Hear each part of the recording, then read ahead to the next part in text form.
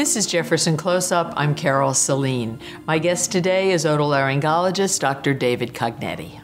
You grew up in Scranton. I love this. You were one of nine children, including a twin sister. I certainly hope your house had more than one bathroom. Okay. So, what's your favorite childhood memory? Childhood was very fun in our house. You can imagine with so many children and so many friends, our house became the neighborhood hangout. and there was always activity and always people around. So I have many very fun memories as a child. Probably the best ones, though, were with the family itself when we'd go on vacations putting all the kids in the car and going down to Ocean City every year. Oh, a lot of fun. It was like a clown car with all of you in the car, I'm sure. It, it, it sure was. It's uh, amazing how many kids you can fit in the back of a station wagon. so, what kind of work did you do growing up?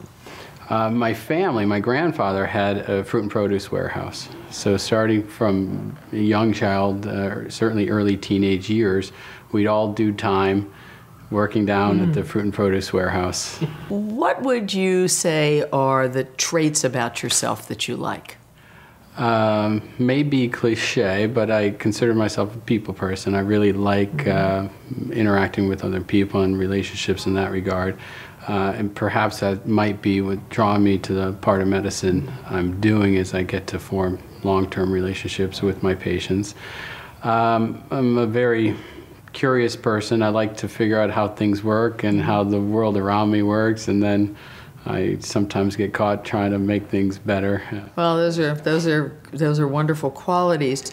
Now, tell me a little about your family. I've been married for eight years to a very wonderful and supportive wife, and I have three beautiful young girls. Daddy's girls. What do you like to do with your girls?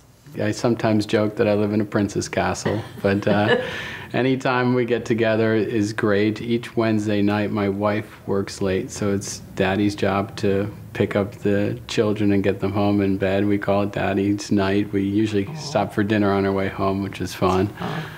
And then each weekend, you know, we, we play, we do what we can. We usually have a, a dance party where we put on music and have a good time. Oh, I love it. I'm going to come. Do you have a treasured possession? I would say there's one thing that has a lot of meaning for me. Uh, my grandfather passed away when I was 14 years old, and he died at work, uh, mm-hmm. essentially at his desk uh, of a stroke, so mm-hmm. he's f- still fully functional.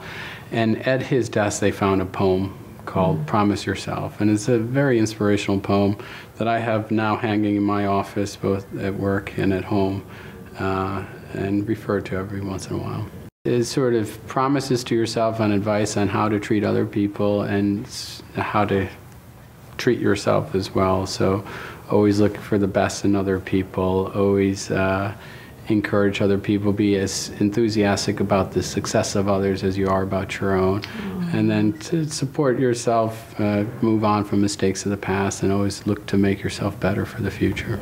Oh my, I'd like a copy of that. That's lovely. Thanks for coming in. Thank you.